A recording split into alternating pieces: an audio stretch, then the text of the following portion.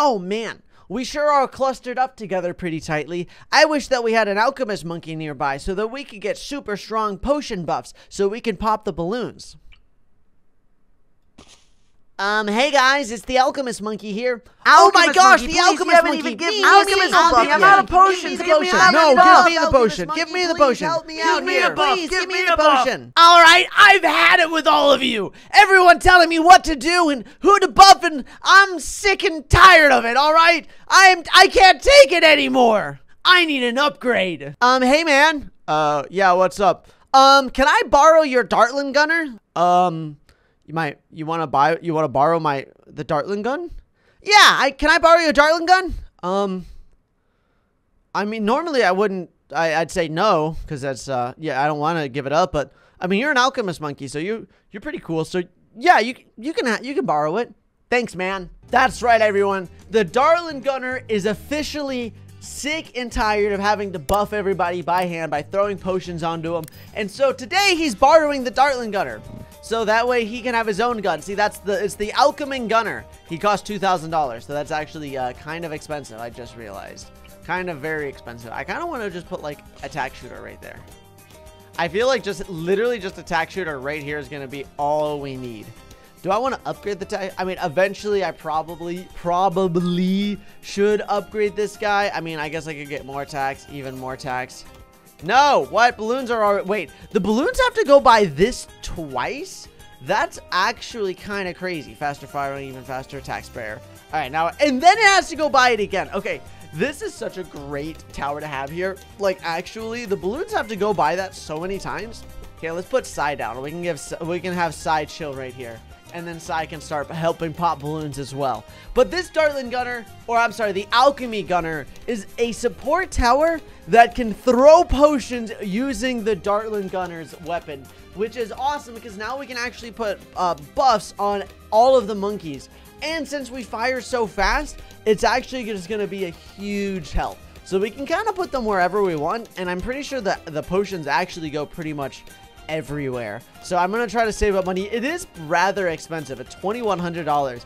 I like the picture of it. He's literally just like got a gun and he's just like, yo, I'm going to, I'm here to help you out. Okay. he's like, yep, that's me.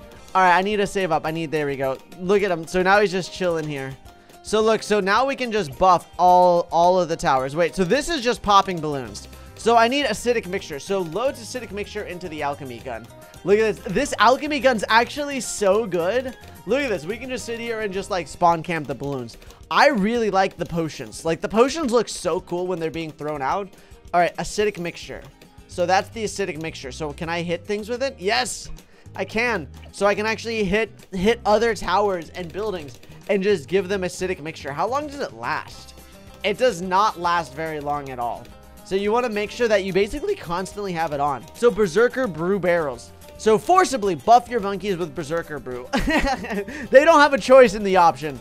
That's that they, they're not allowed to have a choice in the option with this. They, they're gonna be buffed whether they like it or not. I love the red barrel. That actually looks so cool. I love this tower. This tower is so neat. All right, we just got to keep saving up money. This Brewmaster is kind of crazy. We already got 400 pops. I mean, I guess I... Oh, wait, we got to buff it up. There we go. I need to save up money. I need $4,000 so I can get Berserk, Berserker Brew Barrels. I love the picture of it. Look at how funny that looks.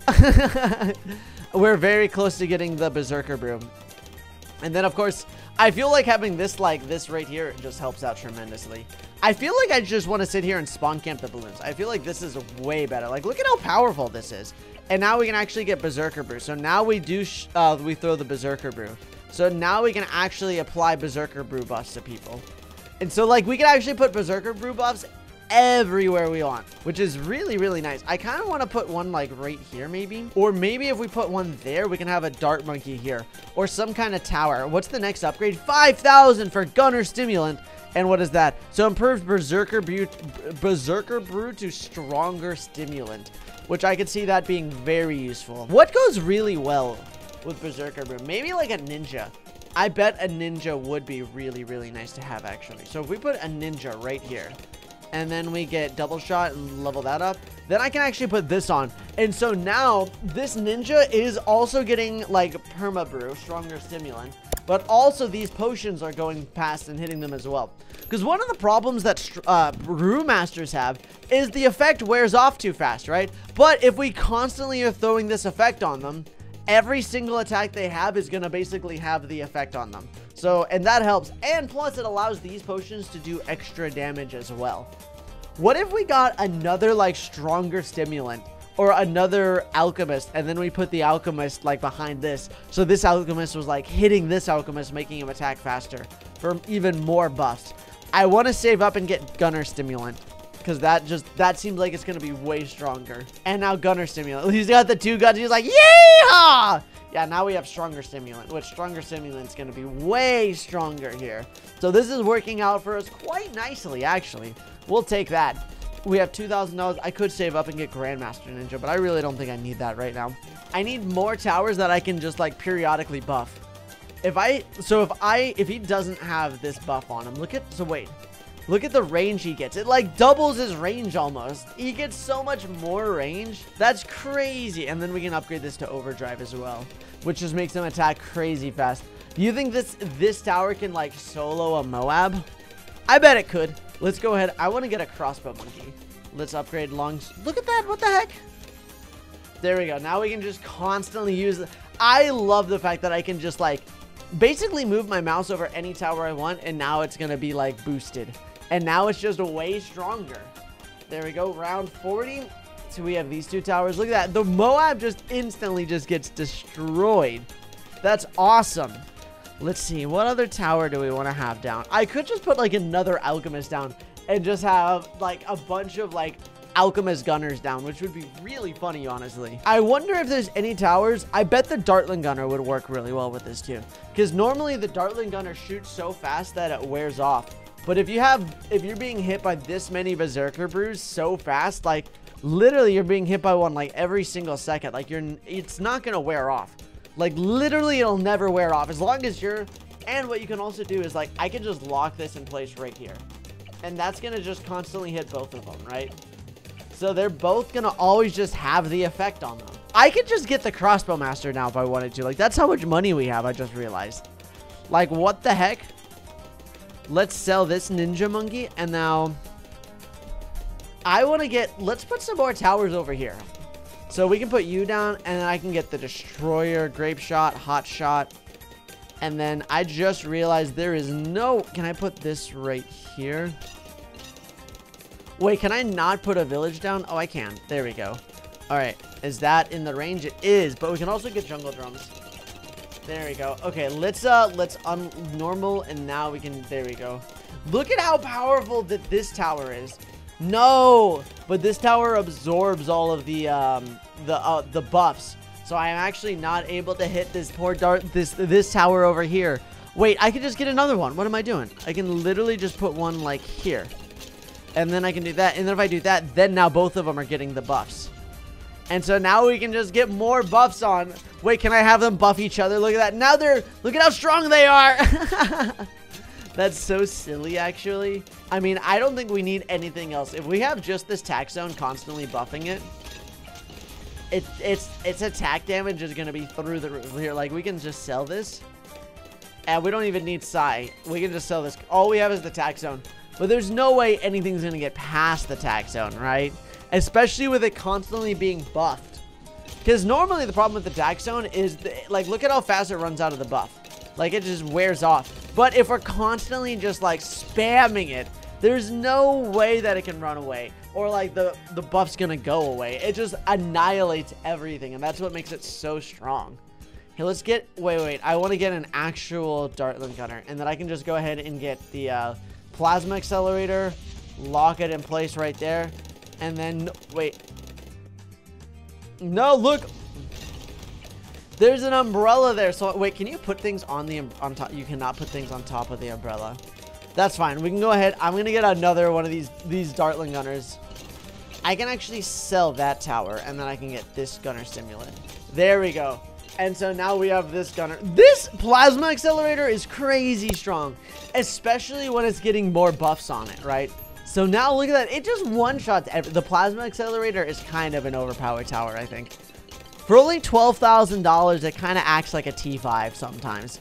Now, don't get me wrong, the Ray of Doom is way stronger, but this tower, like, it's got 16,000 pops, and I really didn't put that much money into it.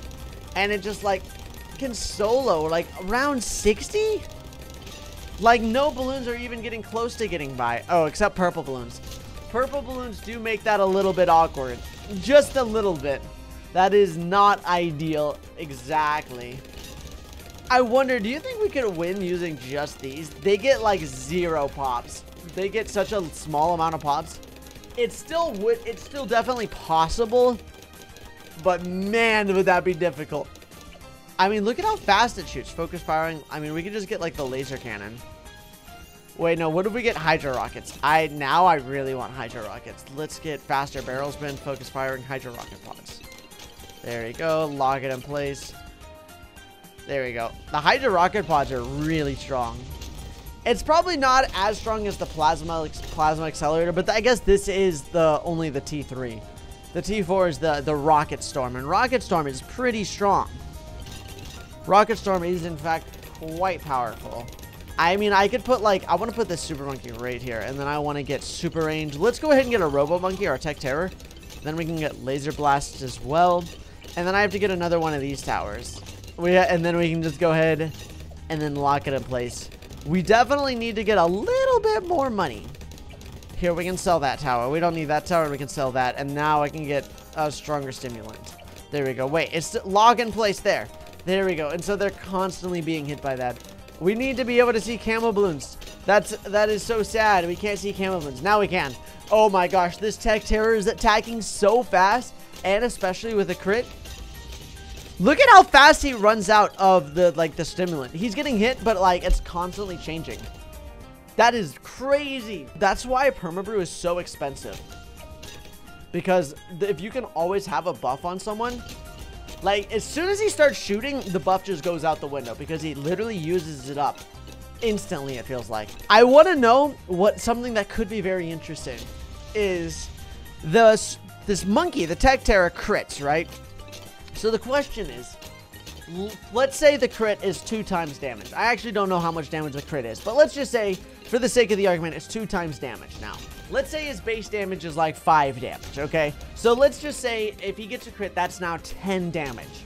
The question is, if you have Alchemist buff on it, okay? And so let's say the, the buff gives it a plus three damage, okay? So his base damage now goes from five to, well, it goes to 8, right? 6, 7, 8. And so now, if he gets a crit, is it going to do 13 damage or is it going to do 16 damage, right? Is it, and so what I'm saying is, the does the crit also multiply the buff damage on top of it? Because that is kind of important to know, right? Because that is a difference between 3 damage per hit. Now, I don't know what the actual damage values of this tower is, because Ninja Kiwi does a pretty good job of not telling you exact uh, specifics of a tower. Which, by the way, I was on Reddit the other day for the balloon subreddit, and I saw someone who made some pretty good, uh, pretty good suggestion.